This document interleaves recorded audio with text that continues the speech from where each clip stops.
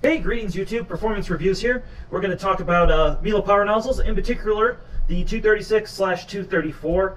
The 234 was the one that came with the pigtail adapter, but they both look the same.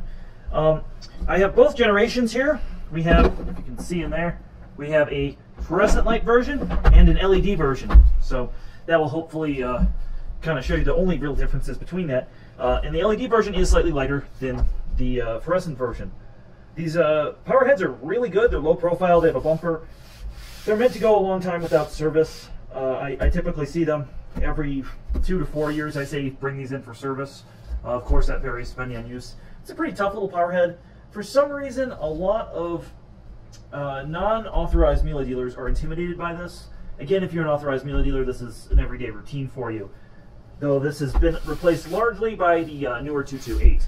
So one thing that's common is you cannot push the handle release. You notice this one, the handle release works. And what that comes down from is somebody wasn't pushing the handle release and they were forcing it and they break a piece in there. So I'm gonna show you how to get in there. So we're gonna open these up and see what they look like. We're gonna go with the older one first here. Uh, as you can see, the brush roller has plenty of life, but it's kind of hard to turn. So let's see what's inside here. And if you're trying to do this at home, this is the time when I'm going to tell you to bring it to the authorized dealer. This video is kind of more to show you why you don't want to do it yourself. Um, again, if you ignore that lesson and you want to go do it yourself, it's a free country, uh, but I'm not liable.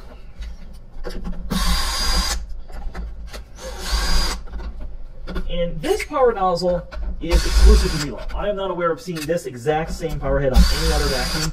They made ones like it. Um, there were similar ones like it, like an EBK 340 found on this beam, uh, but as you can see, it's slightly different. And these were all made by uh, Wessel-Werk. And Wessel-Werk is a high-end German manufacturer of vacuum cleaner parts, accessories, but their specialty is floor nozzles. Pull that apart. All right. So this has sandwich construction. That's one of the reasons why it's so strong. Pull the pedals off. Like so. Really simple. Uh, really nothing to go wrong in there.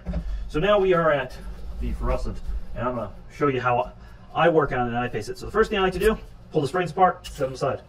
Next, we're to grab our central vacuum. And if you are a back shop and you don't have a central vacuum, you are missing out. This speeds up repairs, but and again, also the most powerful vacuum. So another reason why you want this, but that shows you. So, and super old ones, this piece did not uh, come off by itself, and that, that can make things complicated. The really old ones, but again, this one's not that old. It's like a 2009 maybe.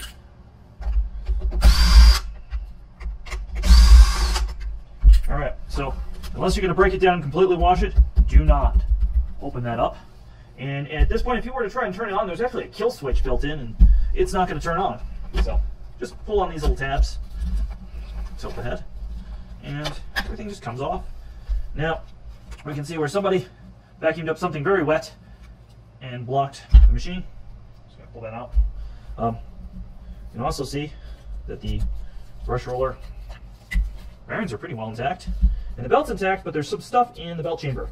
So one of the things that happens over time and why it needs to be serviced is on some of the previous models, they actually had like this little filter where the vacuum would self vacuum out the chamber. This one's supposed to do that through this little thing for whatever reason on this model, never really worked all that great in terms of its self-cleaning. So I, I, recommend you get the thing serviced by a professional where they clean and lubricate the brush roller, height adjustment. Sometimes this needs a dab of grease, sometimes the motor needs lube. Now the belt on this, probably never gonna break. I've seen maybe one or two over the years. This is designed to be a lifetime belt and last the lifetime of the roller. In a typical brush roller life on this is 10 plus years. So that's really nice. Again, this is 2009. It's got a nice long brush roller. Uh, that looks. This one's probably five years newer, and they're the same length. So real heavy duty. And when you pick this up, this resin-filled composite that they use, super tough. Um, so I'm going to pull this off for a second, and I'm going to story time on this piece right here. So this is the machine is hard to tilt back. Either stuff is debris has gotten in here, or this thing has snapped in half. And for some reason, this one's clear plastic, even though you can't see it from the outside. So that's a particular touch. There are two felt gaskets here that need to be cleaned off, and they can be pulled out and actually rotated on the other side to help freshen them if the machine hasn't been serviced in a while. There is a micro switch here. This is the same micro switch that's been used forever on just about everything. This is commercially available. You don't actually have to get this part from Miele uh, if you don't want to. Everything else is pretty proprietary. This light bulb, this fluorescent light bulb is extremely hard to find. And there is a starter right here. Uh, these are pretty common. Bulb is not. So th those are some components of this that make this a little weird. Uh, and like I said, there's a kill switch in there. Now this also separates in here. And you can see this is all gritty and this is full of schmutz. This needs to be cleaned out. Uh, pull the washer and there's a spring. Set it aside. And oh, there you go. See all that. So uh, this wedge is extremely important and would carry on to the S7. Uh, so when we tension the motor, you actually use this wedge to tension the motor. This wedge is, again, really important to this design. is one of the things that will make one of these loud or quiet, and it's how you know if it was serviced right. Not give away all the little secrets here, but that's kind of an important little detail of the machine. There's one more spring under here, and now we're going to vacuum everything out again. I just wanted to show the difference between the LED version and the non-LED version. Uh, you can see that the board appears to be the same. Grab the board. Uh, appears to be exactly the same. It's hard to tell the difference uh, between those right there. Um, literally, they have an LED panel that somehow plugs in and is self-contained there. Uh, this is the one where the height adjustment, I mean the pedal release was sticky. Notice I can move it now. Uh, there was a ton of stuff in here keeping this, and you can hear it's kind of gritty. Uh, so that's just dirty and needs to be cleaned out. All right, here's the third example. You notice this one go down even after I hit the lever.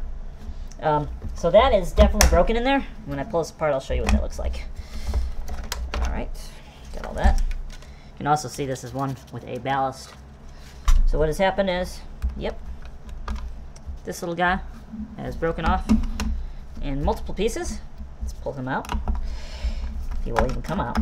This guy's really there. Uh, wow, that one's gotten kind of... You can always hit him from the backside if need be. Headphone warning.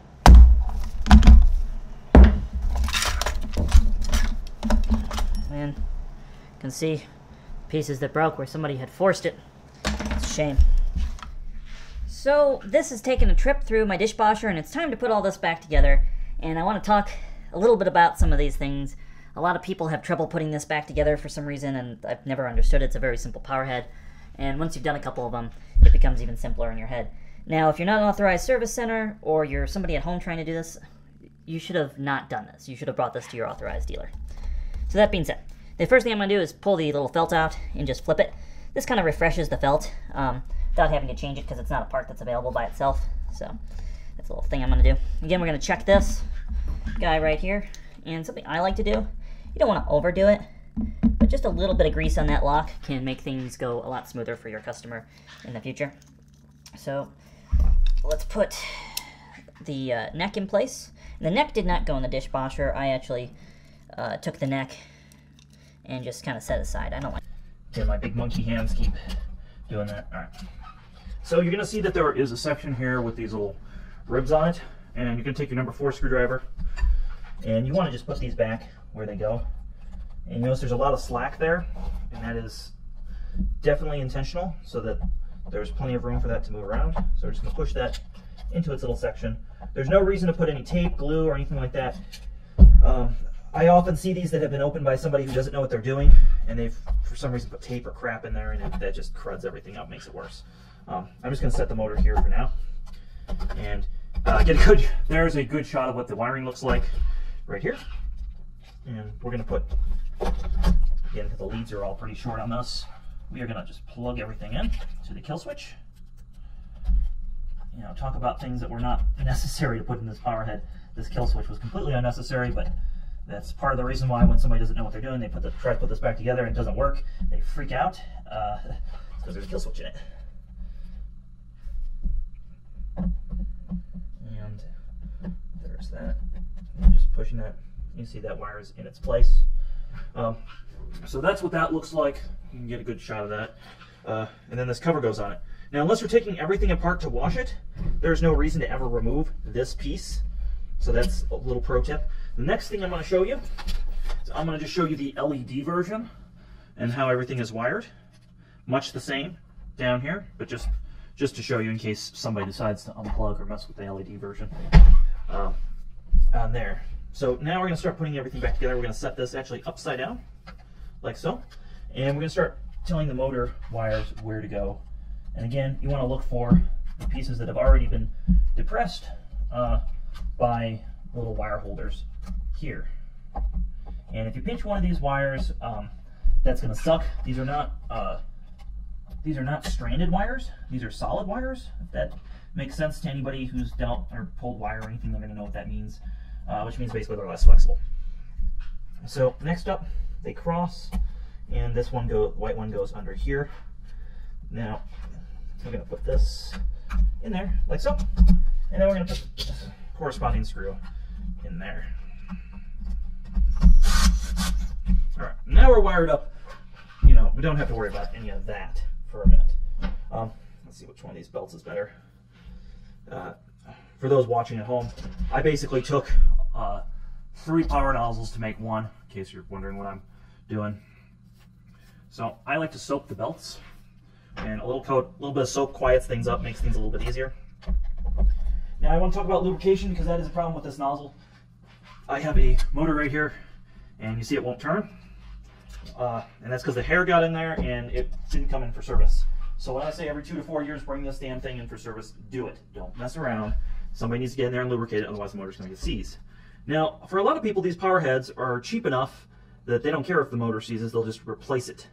Um, but for the average Joe, or somebody who's just trying not to waste a whole bunch, now you see a little bit of oil, the TriFlow, all that just spins like it's supposed to. So that motor is actually good.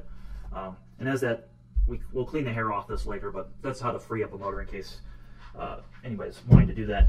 So this has already been lubricated properly and taken care of. And normally you don't mix grease and oil together. That, that seems to be like the theme of this power head. Um, the brushes don't wear out easily, and if they do, the brush roller actually comes with this blue part in the black base, so it's really designed to last the life of the machine. So there's a couple things we're going to do. A Q-tip will be your friend for this.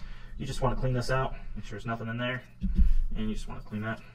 Now, something I didn't used to be so concerned about until I realized what they are. These right here are bearing coolers, so just make sure you blow those clear with compressed air or whatever your method is. Just make sure they're clear. That's essential to keeping the bearings cool. Next, I'm just going to Q-tip the inside of that. So on a nozzle that is four, five, six plus years old, not one or two or three years old, but an older nozzle that's had time to wear, with these sleeve bearings, something will quiet it down a little bit. So a little bit of the material has gone in these sleeve bearings because it's steel and copper, and that's by design. So putting just a tad, just a tad bit of grease makes a big difference in terms of quieting it down. And of course, then you want to give it a healthy dose of light machine oil. You probably could use some differential oil just in lieu of doing this nonsense, but this is what I have, and this is what I'm going to do. Also, differential oil smells real bad if anybody's at the working car. So, all that. So even though this brush roller has had a ton of stuff wrapped around it, and it's trash, whatever. This one that's almost half its age is about the same. So no reason to replace that. It's still very functional despite its looks. I'm gonna put all this in. And this is a, this brush roller only goes in there one way. The uh, doesn't have rotating end caps or anything like that. Now, putting the rest of this together, talk about this, because this is an important piece, and anybody who's worked on any other Miele's knows that without this, this whole thing is pretty much fucked. Um, put that in. And this you're to do by hand. And to explain to you how to do this. So we're to put these screws in, and we're to do it kind of loose. Not super tight, not super loose, just a little bit loose, just enough, like so. And what we're going to do, and that is now touching the belt. Now we're going to tighten those. And if you do this with a drill, it's real easy to break this little thing. So keep that in mind. Now these two pieces are exactly the same on the upright if you do happen to do it. Those are available. So let's talk about some of the other gizmos in this head. The height adjustment must be addressed at this moment. And it's important that this is clean, and all this is clean. This one took a trip in the dishwasher. And this naturally would have come with some grease in it. Again, because it took a trip in my dishwasher, it's really lacking of grease. And we're just gonna crap. You don't want to saturate this with grease, but a little bit of grease in here makes all the difference on that. Plenty grease. Uh, also, if this thing is sticking, this is dirty. That's that's just a symptom of that being super dirty. Um, next we are going to put the spring in. And The spring goes down like that, and that's on there like that. And now we are missing a piece I just noticed. Here it is. So this thing, you can see it's gunked up and dirty, so we're just gonna clean that. Uh, with this plated steel, I'm not gonna put this through a dishwasher. You can wash it out in the sink, but it, it that'll make it worse. Um, if you have to, if there's a lot of wear on this, a little bit of steel wool, just to pull any burrs off, makes a big difference with this. Now putting this all together, you can see how this is gonna interact in there like that. Actually, it's gonna interact like so. So just a drop of oil on that makes that interact much better. To, uh, I guess that's a double positive. Better together. Um, pull a spring out there. Um, and you can see that if you hold this down, now the height adjustment is going to work just how it should.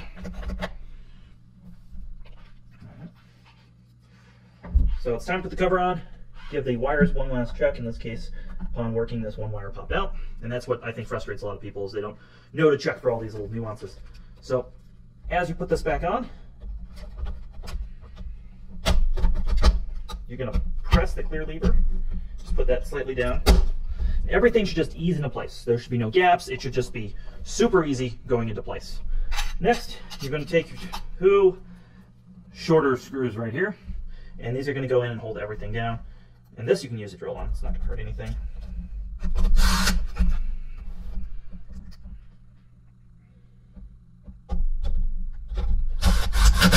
All right, so those are all in place.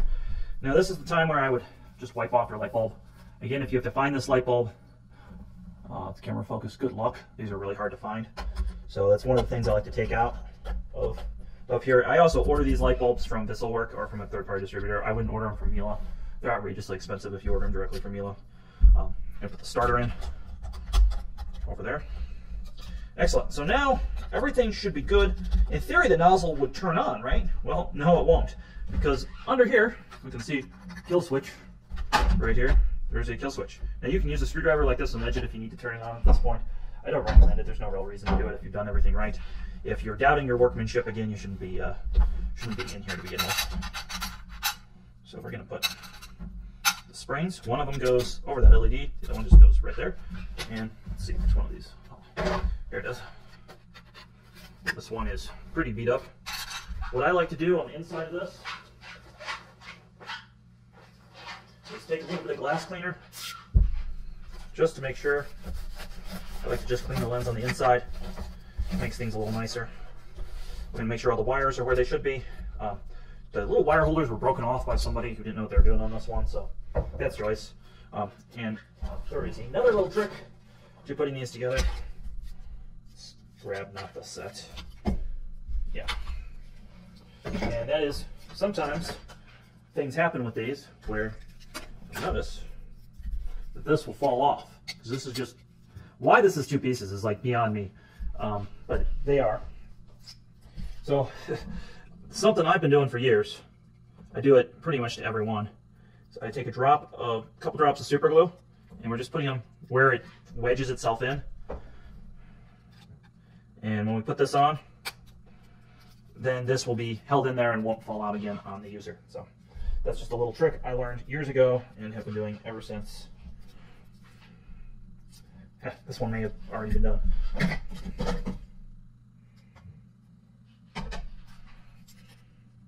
Actually, I can see that there's some polybond on this one from somebody. That's joyous. So now will be the time where I'm going to take that polybond off. If there's anything on here, this is the time to do this before you put it back together.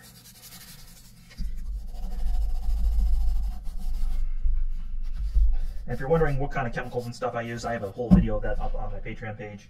Um,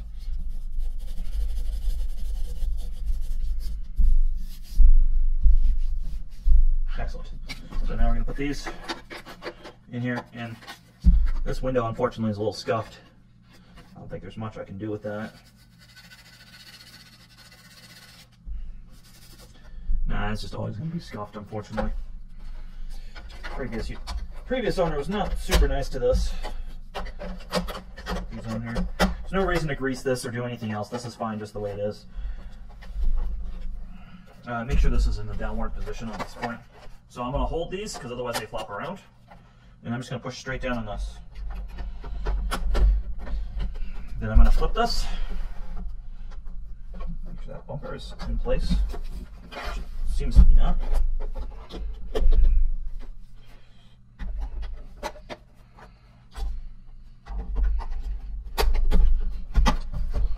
All right. I guess that's just the form from getting in the dishwasher. Um, I'm gonna put these in. I'm gonna do the big screws uh, first.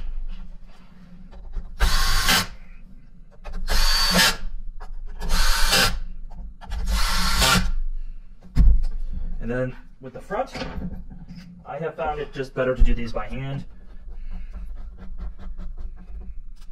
People tend to over tighten these with the screwdriver. All right. Next, I have the axle. I've got some.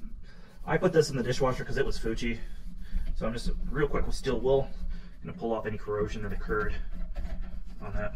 The next thing I'm gonna do is we're gonna put a little bit of Tri-Flow in in this. That makes a huge difference in terms of the squeaking. And this is something I would do if you have one on the floor or um, on a demonstrator. Put a little bit of Tri-Flow in here. It helps the parts wear in and it keeps it from squeaking. Um, some people put grease on this. I don't think that's necessary at all. Um, my two cents. So this piece is just going to hinge in there. Oops, that was the wrong. There we go. Sorry, I've got multiple, multiple ones of these apart. And there we go. And that's as good as that's going to get. Um, so thanks for watching my uh, Miele SEB 236234 repair video. Uh, and if this video helped you, please consider donating to our Patreon. Uh, even better yet, share this video on your favorite social media.